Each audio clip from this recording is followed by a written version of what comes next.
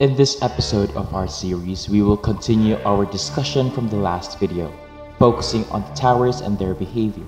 We will explore the concept of descent towers and examine how this theory might be supported through the analysis of the wreck of the RMS Titanic. First, let's do a brief recap of our previous discussion. We have successfully analyzed the wreck, focusing on the forward tower structure. Our analysis revealed that the forward tower could not have drifted eastward on its own, as structure-wise, it is not built for the hydrodynamic movements that would allow it to drift as it goes down the sea floor.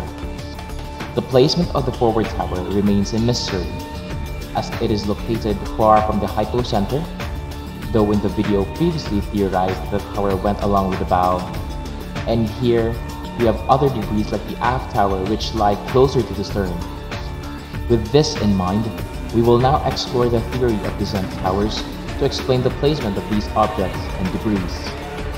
This is a separate theory from the previous video that we had. The descent tower theory posits that instead of the forward towers breaking off at the surface, they detached as the stern descended. As the ship began to break apart, sections and fragments formed, with these towers remained attached to the stern, slightly dislodged. During the descent of the stern, these towers eventually detached as the stern began its spiral. According to this theory, the foremost tower, or also known as the forward tower, was the first to come off, flung away as the stern violently spun. Debris beneath the tower, including the two double bottoms, was thrown eastward.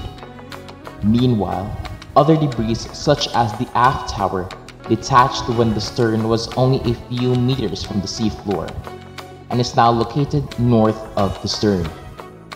The descent towers theory gained popularity on a server managed by Blueprint. Initially, the surface tower theory was widely more accepted, which theorized that during the breakup of the Titanic, the superstructures began breaking off as the breakup occurred. However, further analysis of the forward and aft tower structures led to the decline of the surface towers theory. This shift occurred after Pooley, a Titanic enthusiast, introduced the concept of the descent towers. Enthusiasts like myself, along with Dennis, Danny, and Tony, embraced this new theory. Subsequently, many others also began to incorporate the descent towers theory into their own analysis and research of the RMS Titanic sinking and breakup. Pooley, the originator of the descent towers theory, states It came about trying to answer the questions of how the forward tower, or top of the third funnel casing. We knew from the survivors that there were most likely a third section that formed during the break, with common explanations having it come off the ship at the surface. But with the size and shape of the tower, it freely traveling northeast felt off for multiple reasons. Number one, the current couldn't affect it, as the current that night was only 1 to 2 knots south southeast.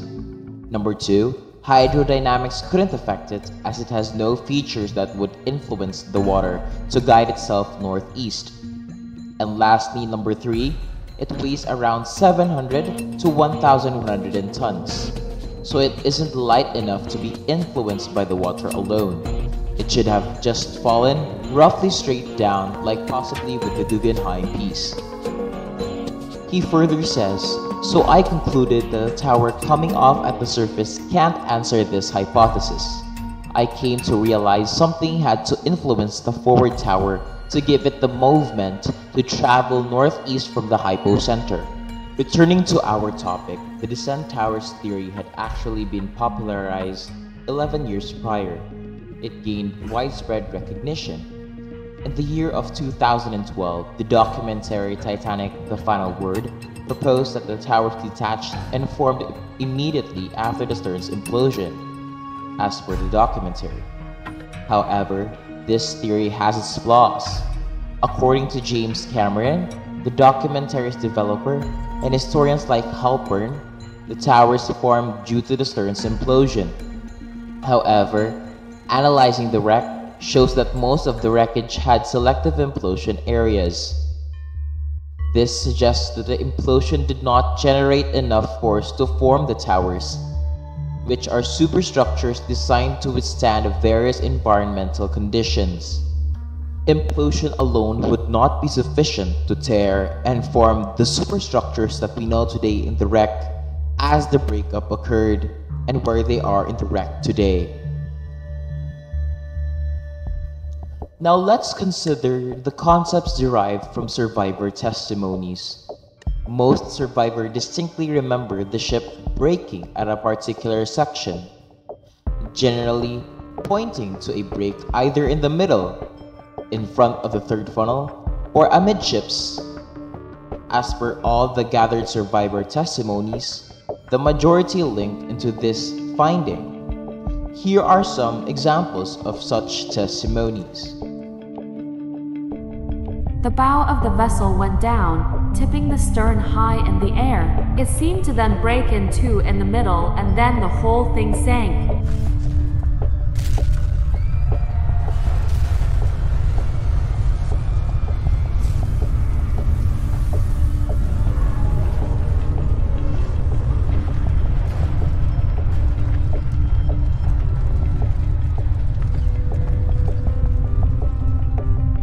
Finally, there was a terrific explosion, like a cannon report, and a big black cloud of smoke arose from the ship. This settled, and the ship appeared to be broken at the middle.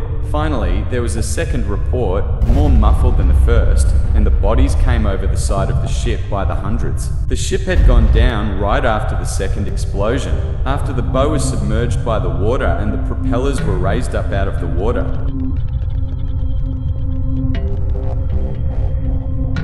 With one tremendous roar, which sounded and resounded over the sea, she seemed to break in the middle and sink.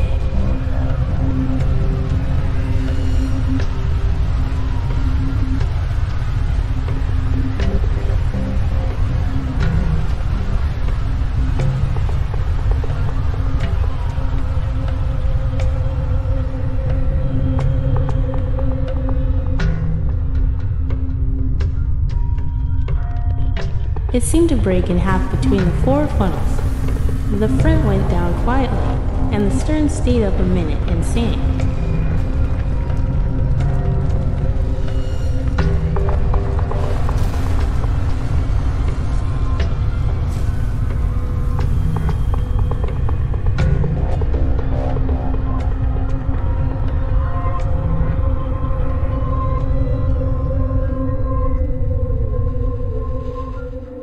Testimonies such as these predominantly indicate a break in front of the third funnel.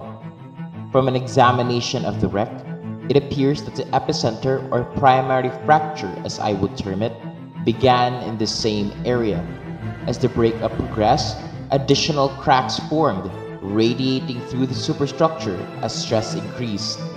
This stress that scattered by the superstructures on the decks above contributed to the formation and eventual detachment of the towers.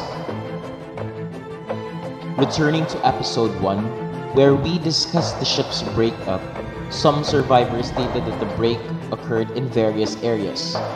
How can these align with the theory that the breakup only happened in the middle? In addition to the descent towers theory, which causes crack form around the towers, which could only and also make it look like it broke in different areas, although we should consider on how dark the night was. Now we can consider also the possibility that debris was mistaken for sections breaking off in different areas of the ship as it began to break apart. Then this leads us to the third funnel.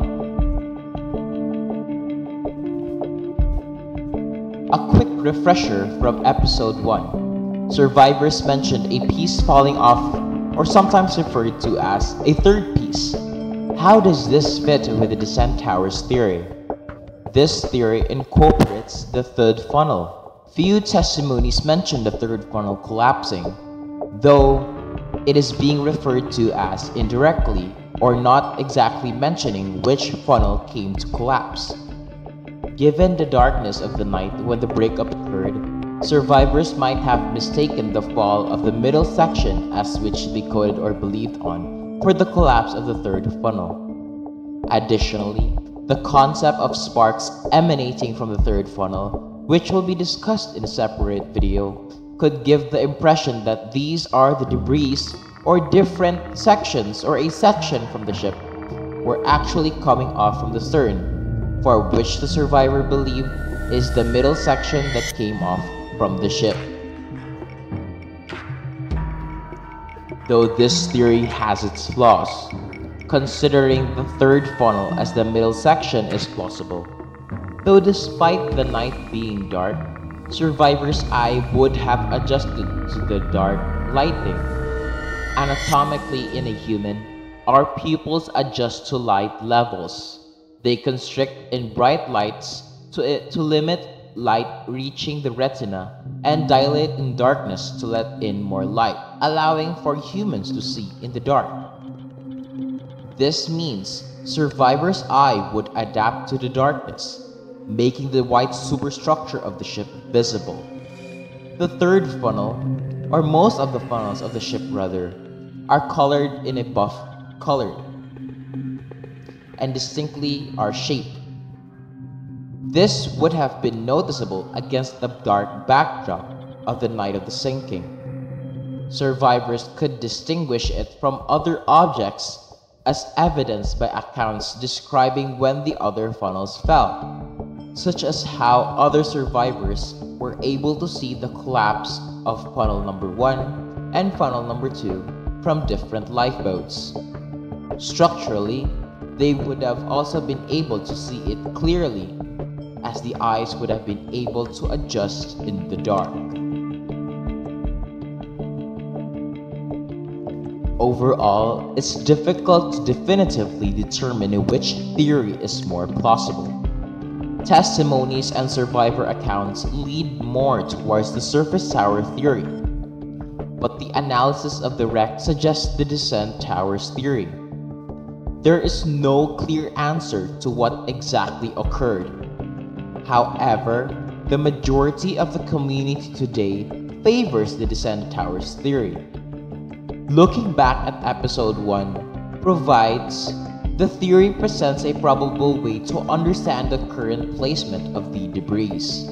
In addition, we may never know what happened and these theories will always just stay as theories and will be never solid into facts to whatever may have occurred on the fateful night of the sinking of the RMS Titanic.